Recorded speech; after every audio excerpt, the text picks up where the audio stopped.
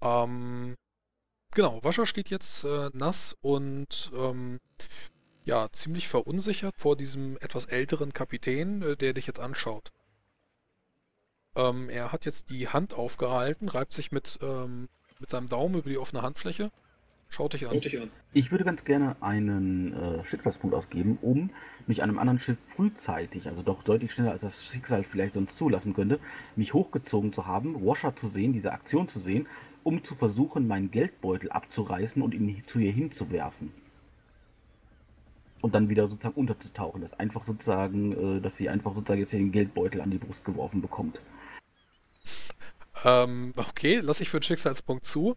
Schicksalspunkt Ähm, also ausgegeben von Also dir? genau, das, das ist eine Veränderung äh, einer der Realität, äh, eine kleine Veränderung der Qualität, äh, der, der Realität, äh, sodass jetzt ähm, Wascher das auch gar nicht gesehen. Äh, von irgendwoher fliegt jetzt ein Geldbeutel dir an den, nicht unbedingt an den Kopf, aber vielleicht an die Brust und ähm, äh, du bist ein bisschen verdattert. Äh, der Kapitän dreht sich auch einmal schnell um, zieht sein, zieht seinen Dolch und schaut sich dann um, äh, hat aber Wascher immer noch irgendwie im, im Blick und ist jetzt sehr, sehr un verunsichert, genauso wie die Matrosen, die jetzt auf diesem äh, Schiff stehen, sich umschauen. Es gibt natürlich ein lautes Pl ja, was heißt lautes Platschen? Es gibt ein Platschen, was zumindest diese Leute hören. Äh, niemand weiß genau jetzt, was los ist und Wascher äh, steht jetzt sehr verdutzt vor dem, vor dem Mann, ähm, der sie anschaut, äh, ziemlich feindselig. Ein göttliches Zeichen. Ich gucke ihn einfach mal an und fange an zu strahlen, nehme den Geldbeutel dabei und versuche möglichst selbstsicher auszusehen. Habt ihr das gesehen? Ein, ein, ein göttliches Zeichen. Guck mich nochmal um und fange dabei schon an, den Geldbeutel aufzumachen. Ja, ähm, er greift Versuche ich zu. immer noch an zu strahlen. Er greift zu, nach dem Geldbeutel. 165 Silbertaler, 90 Heller sind also eine ganze Menge kleiner Münzen drin. Ja, ich würde ihm natürlich nicht den ganzen Geldbeutel geben, ne? Ich würde erstmal aufmachen. würfel, würfel mal eine Parade. Ähm, er macht eine, er macht eine Raufen-Attacke nach dem Geldbeutel und er, er macht sogar eine Finte rein. Äh, vier. Schauen wir mal nach. Jo, schafft er. Äh, du musst eine, eine Parade, Raufen oder Ring ist mir egal, äh, plus vier machen. Sonst ist der Geldbeutel äh, nicht mehr in deinem Besitz. Du bist ja selber überrascht, dass er jetzt von Rodrigo dir zugeworfen wurde. Ja, okay. Ähm. Ja, Dann. Vier Schwerter hast du gesagt, ne? 4, 3, 2, 1. Ja, du bist äh, verdattert, komplex. Ähm, kannst auch nicht mehr äh, wegziehen. Nee, jetzt ist vorbei. Ich habe das erstmal eingeben Ja, müssen. ist mir egal, ist mir egal. offen. Also, so. Ähm, der Geldbeutel wird jetzt auf alle Fälle von ihm äh, gegriffen, hat ihn in der Hand und macht ihn einmal auf, hält den Dolch äh, abwehrend vor sich. Schaut einmal nach. Kann ich ihm den wieder wegnehmen mit einer Raufenattacke? Das ist dann aber wirklich ein Angriff auf ihn. Kannst du aber machen. Ich habe auch Taschendiebstahl. Kann ich Taschendiebstahl machen? Also Taschendiebstahl ist ja schon unbemerkt, ne? Er ist jetzt äh, sehr abwehrend vor dir mit dem Dolch. Und Also ich meine, Johnny hat seinen Schicksalspunkt dafür geopfert und ich Ja, habe dann so opfer gebraucht, deinen. weil das Fantasy dann Opfer ja dein. Ja, ist mir alles egal. Das muss schnell gehen. Ja, dann nicht. Guck, kein Schicksalspunkt. Ja, ähm, er guckt in den Inhalt des Beutels. Okay. Äh, ihr solltet vielleicht unter die unter die Reling euch so ein bisschen abducken. Äh, wo das herkommt, ist dann noch mehr? Nun ja, die Götter scheinen mir wohl gewogen zu sein. Johnny, wie viel Geld war da drin? 165 Silber und 90 Heller. 16 also Dukaten. 16,5 Dukaten, äh, also fast 17 Dukaten. Ach Okay. du Scheiße. Alles, was ich habe. Okay. Warum hast du das alles in einem Geldbeutel? Ja, natürlich habe ich das alles in einem Geldbeutel, den trage ich mir alles um den Hals. Sorry, ich sammle zu viel. Ich äh, sollte mich euch vielleicht einmal vorstellen. Äh, ich bin. Er räuspert sich einmal, äh, klopft sich auf die Brust. Ria Ben Chalik. Und. Naja, ihr seht hier so ein bisschen verloren aus. Wie gesagt, äh, Helmport ist äh, sehr unsicheres Gebiet und wenn ihr hier schon mit den Göttern herumfaselt. Hm, ich könnte euch ja wegbringen. Gar kein Problem. Das kostet natürlich etwas, aber naja, wenn die Götter euch mit, äh, mit Geld bewerfen, dann könnt ihr mir sicherlich noch mehr bringen. Vielleicht, ich äh, habe das schon öfter gehört. Ähm, wie wäre es, äh, naja, wenn ich euch ähm, generell meine Hilfe anbiete beim Schiffsfahren? Ich meine, wie viele Leute könntet ihr denn mitnehmen? Kommt natürlich auch drauf an, wie viele ihr habt. Ja, jeder Mann kostet. Ich muss euch an den Hafayas vorbeischmuggeln, durch den Sturm bringen. Wo wollt ihr denn hin? Welchen Hafen? Nächste wäre Kunchom. Einfach direkt rüber. Die andere Seite. Aber Ich wenn das Geld sagen, stimmt, kann ich euch auch nach, aus. nach Sinoda bringen. Ich kenne mich hier nicht so aus, aber, aber Kuntium klingt gut. Kunchom. Wie viele Mhm. Leute habt ihr denn bei euch? Mm, eins, zwei. Äh, ich, ähm, Ein ich Dutzend? glaube, Zwei Dutzend? mm, ich nicke mal, als wüsste ich einfach, als könnte ich nicht zählen. Okay. Gar kein Problem. Du bist vielleicht ein bisschen dumm, aber von den Göttern gesegnet. Also, Ich strahle Äh, ihn an. rede einfach mit deinen Leuten. Du solltest vielleicht äh, nicht offen über diesen Platz hier rüber rennen, aber äh, wenn ihr es schafft, ich kann auch die nächste Bucht anfahren, ist gar kein Problem. Müsst ihr hier nicht au- offen über Helmport rumlaufen. In der Taverne sitzen wohl noch die ein oder anderen äh, Kammergedisten und Alanfaner. Ich kenne euch das sehr gut aus hier. Könnt ihr mir vielleicht einen Rat geben, wie man hier am besten, naja, unbemerkt umherkommt? Äh, da wo ihr hergekommen seid, durchs Wasser oder wie? Generell. Ja, geht zurück durchs Wasser. Äh, dann müsst ihr, wie gesagt, nicht über, offen über die. Äh, ja, da kannst du gerade das laute Allah hören. Ähm, was dann irgendwo von der Dorfmitte her klingt. Schaut sich nur mal ein bisschen um, äh, hält den Dolch weiter abwehrend vor sich, ist jetzt gerade ein bisschen unsicherer geworden. Also wie gesagt, wenn ihr wollt, äh, ich fahre die nächste Bucht an, das müsst ihr dann weiter gehen, aber von da aus kann ich euch auf alle Fälle aufnehmen und dann durch den Sturm bringen in Richtung. Wie Die werden sicherlich kontrolliert denn, werden, aber Wie schnell könnten wir hier von hier weg? meinetwegen in zwei Stunden. Puh, ich. Ja, ich, ich werde versuchen, das zu arrangieren. Wie teuer wäre das? Ich brauche alleine 50 Dukaten, damit ich nicht kontrolliert werde von den, äh, von den Biremen von Hafax. Ui. 50. Und dann sagen wir einfach mal zwei Dukaten pro Person. Das ist ganz schön viel. Wir sind, wir sind mehrere. Wie wär's? Ich meine, ihr müsst da so oder so durch für 50 Dukaten, ob wir nun zwei oder, oder mehr wären. Naja, wenn ich Wie euch hier lasse, dann werde ich, dann muss ich die halt nicht kontrollieren lassen, dann lasse ich die einfach in meinen Laderaum. Das wären aber auch weniger Dukaten für euch. Ich meine, ein Risiko, aber mehr Geld. Und ihr habt gerade eine ganze Menge durch mich bekommen. Denkt daran. Das nehme ich als Anzahl, gar kein Problem. Gut. Er öffnet nochmal kurz sein, Beu äh, sein äh, Beutelchen, äh, zählt mir mit dem Daumen durch, schiebt ein paar Silbertaler zur Seite, ein paar Kupfermünzen. Hm. 15 Dukaten als Anzahlung, ist okay. Puh, die Götter scheinen es wirklich gut mit mir zu meinen. Ich schaue nochmal so gen Himmel.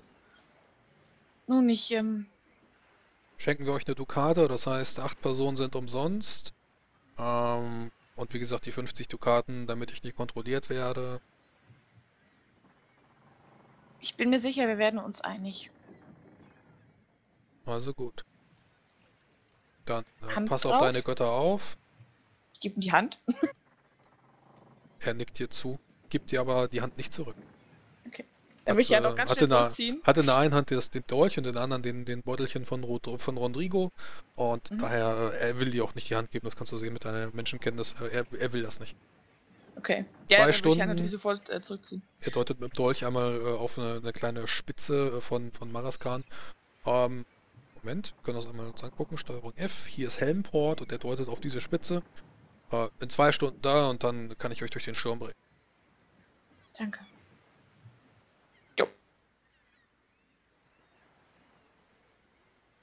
Dann äh, zurück ins Wasser, würde ich mal behaupten. Jalim, hol die Männer aus der Taverne. Ei, ei, Kapitän. Ja, kletterst du am Seil wieder nach unten und triffst dort auf Rodrigo. Nee, Ich bin ja um das Schmugglerschiff noch herum sozusagen, schau sozusagen um den Bug des Schmugglerschiffs immer herum, um zu versuchen, Rond Woschers Kopf vielleicht zu erkennen, wie sie jetzt sozusagen nicht irgendwie abgeführt wird oder so, sondern wie sie anscheinend Richtung Reling geht und dann wieder verschwindet aus meinem Sicht.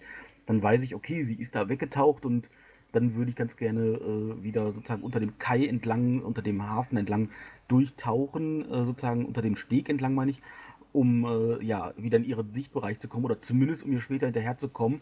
Wenn sie nämlich dann schon weg ist, würde ich auf jeden Fall äh, einige Minuten noch warten und dort verharren unter dem Steg, in der Hoffnung, dass man ihr vielleicht, vielleicht ein paar Minuten hinterher schaut, aber nicht mehr als irgendwie fünf Minuten. Ja, äh, dann ist Wascher erstmal äh, sehr schockiert, wo Rodrigo hin ist, kannst ihn nicht finden.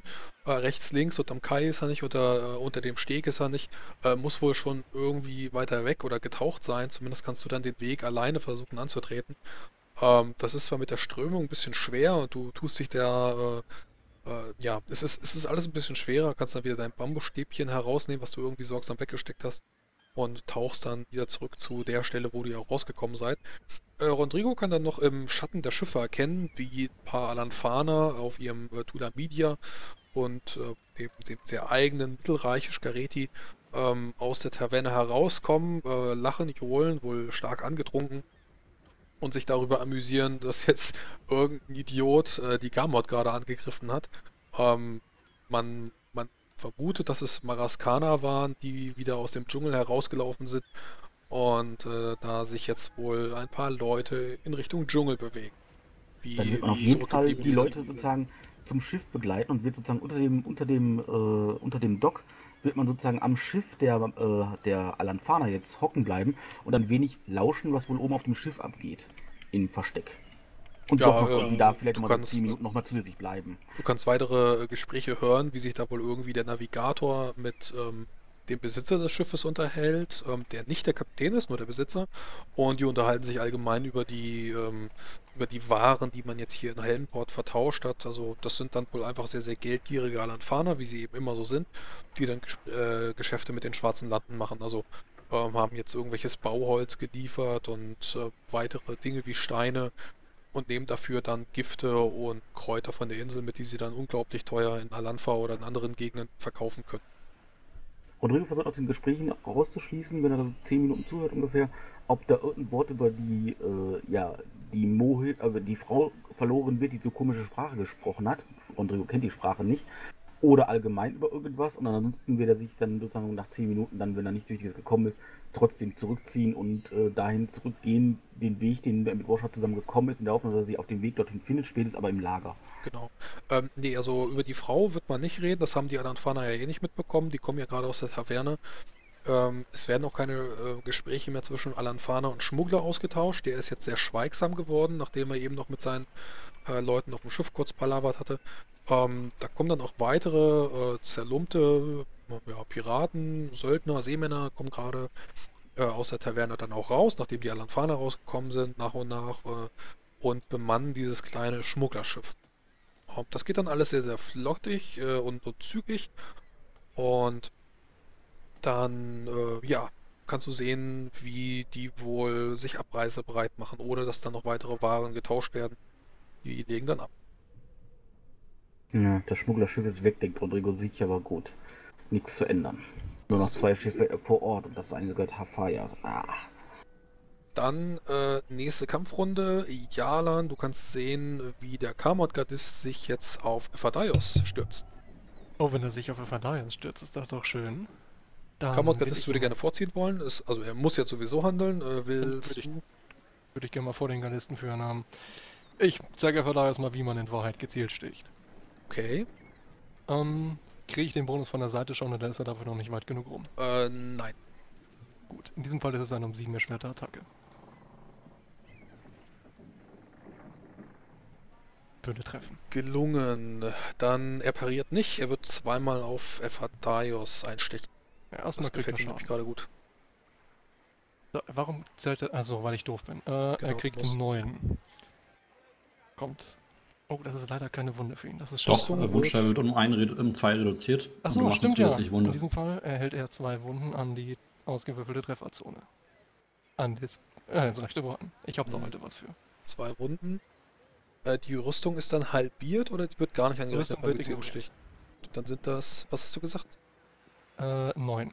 Neun. 9 minus 32 sind 23. Ähm, dann haut er jetzt auf Ephadaios. Ähm, deine nächste Aktion ist um 11 Punkte. Warte, Sekunde.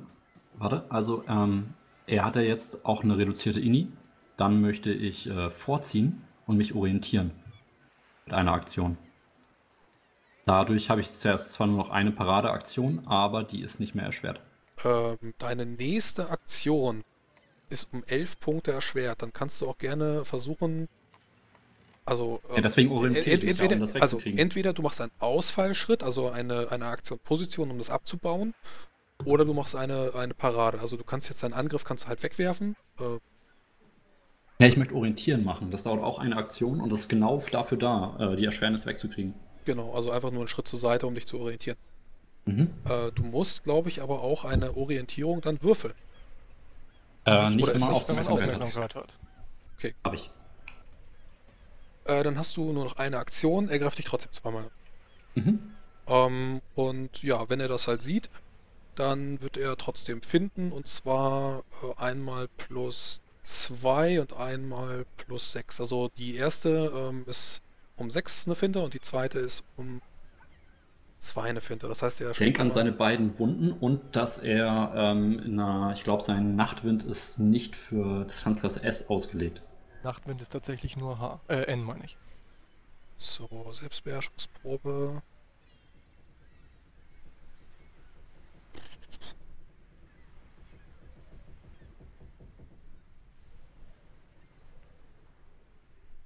Wäre auch lächerlich, wenn wir nicht mit zwei Kammergardisten fertig werden würden. Okay, dann macht er keine Finte. Ähm, er wird sich dann versuchen wollen, aus dem Kampf zu lösen.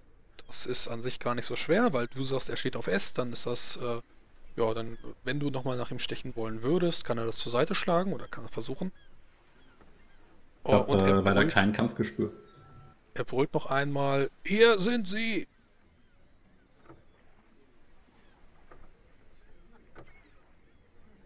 Ja, ihr könnt auch weiteres äh, Rennen hören. Ähm, der Alarm kam ja bereits schon vorher äh, von diesem Mann aus dem Haus, wo Ephadaios war, und äh, dann könnt ihr erkennen, ähm, wie sieben Kammergardisten äh, mit gezogenen Nachtwinden auf äh, die Wiese rennen. Los, Jalan, renn! Ja, ich denke einen, den Bruchteil einer Sekunde darüber nach, ob ich den Typen jetzt nicht nachrenne, aber dann sind wir sieben Kammergardisten doch zu viel und es geht auf die Flucht. Mal wieder. Gut. Ja, äh, wieder auf die Flucht. Äh, ich verzichte jetzt auf Athletikproben oder auch Körperbeherrschungsproben durch dieses große Fahnenfeld. Ähm, könnt ihr euch, ja, wie, wie wollt ihr denn jetzt einfach zurück ins, in Richtung des Lagers rennen oder? Nein, natürlich nicht. Wir rennen erstmal. Wir rennen erst einmal ein Stückchen in den Dschungel hinein, wo man uns nicht mehr so leicht folgen kann und schlagen dann einen, äh, einen Weg südwärts ein. Ähm, ein bisschen am Waldrand lang, so in, in 100, 200 Schritt Entfernung maximal. Alles klar. Äh, dann äh, dürft ihr auf alle Fälle unglaublich viel rennen und euch versuchen zu verstecken. Äh, ich ver verzichte jetzt einfach mal auf Proben. Eine halbe Stunde später steht ihr allesamt wieder im Lager, ähm, habt euch dann auch ein bisschen weiter weg bewegt, nachdem ihr euch da irgendwie äh, einen Speer zurückgelassen habt. Das wird dann wahrscheinlich äh, der gute Mopane sein, der wird da zurückgelassen. Kann euch dann bedeuten, wohin der Rest gezogen ist, weil das große Tohuwabuhu hat man überall gehört. Und wenn ihr euch dann wieder alle gesammelt habt, eine halbe Stunde später, ähm, und die äh, Suche irgendwo an euch vorbeigezogen ist, kann es weitergehen. Puh, scheiße. Das war knapp. Was habt ihr da unten getan? Naja, ich bin in das Haus rein. Ich wollte gucken, was da drin ist und. Ihr solltet doch erst an die Küste und euch die Boote angucken. Ja, ich hatte und dann von... ins Dorf zu.